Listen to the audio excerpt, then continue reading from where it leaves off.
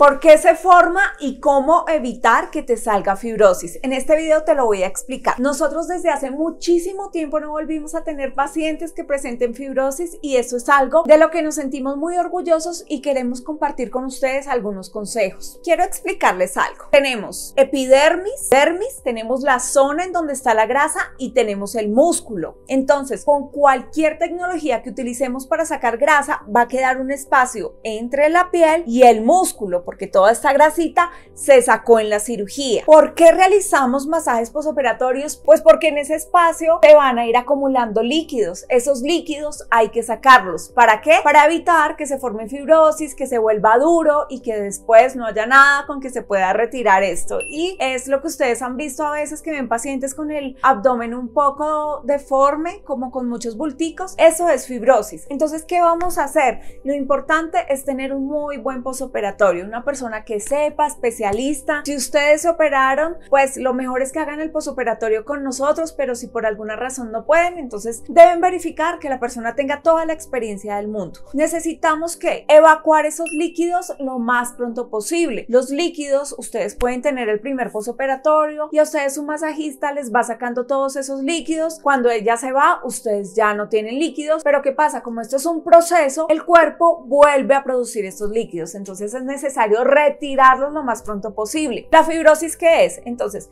tenemos el músculo y tenemos la piel. La piel puede cicatrizar acá y puede cicatrizar acá, dejando un globito en la mitad. Y así puede irse por todo el abdomen. Lo que necesitamos es tenerlo lo más liso posible. Hay pacientes que cicatrizan rápido, hay pacientes que se demoran un poquito más de tiempo. Entonces, la fibrosis es la cicatrización de manera acelerada e irregular. Entonces, por eso es que va como pegando por partecitas. Pega acá, pero aquí no, pero otra vez acá sí, pero aquí no. Entonces, depende mucho de cómo sea tu proceso de cicatrización. Hay personas que a los 8 días, 15 días ya cicatrizaron, ya todo está muy rápido, muy bien. Hay personas que se van a tomar un poquito más de tiempo. En cualquiera de los dos casos, lo que necesitamos es tener de la mano un muy buen posoperatorio. Teniendo dicho esto, de que ustedes van a tener un muy buen posoperatorio, van a ver dos cosas fundamentales que les voy a recomendar. Primero, un gel térmico. Nosotros desde que utilizamos este gel, es real que no volvimos a tener problemas de fibrosis con ninguna paciente. Se pueden presentar al inicio del posoperatorio, pero inmediatamente lo tratamos y ya no quedan permanentes, no quedan secuelas permanentes. Ah, porque eso es una cosa. Los primeros días ustedes pueden sentirse como durito a un lado al otro, pero no significa que eso les vaya a quedar por si acaso una paciente está recién operada y se está sintiendo así.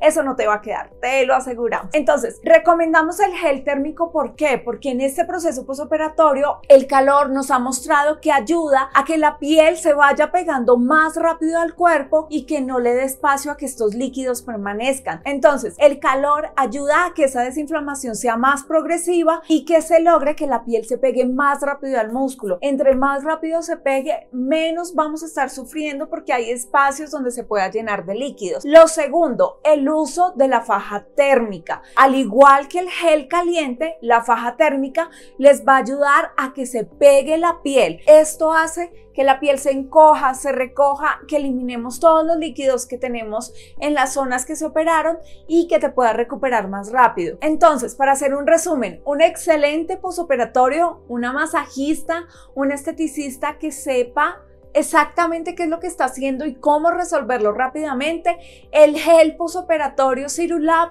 y también la espuma térmica que les va a ayudar a pegar la piel. Claro, hay una probabilidad de pacientes donde tienen una cicatrización acelerada que es imposible llevarle el ritmo a las 24 horas, 48 horas que se operaron y que va a ser muy difícil que no les vaya a salir fibrosis, pero pues eso es, digamos que en los últimos dos años yo no he visto a nadie que tenga una cicatrización así fuerte. Sin embargo, pues acá lo dejo dicho porque pues puede pasar. De pronto mañana sale alguien, ay, pero a mí me dio fibrosis, pero pues no, o sea, de verdad en la gran mayoría no dan fibrosis siguiendo estas recomendaciones. Una muy buena esteticista, el gel y la espuma.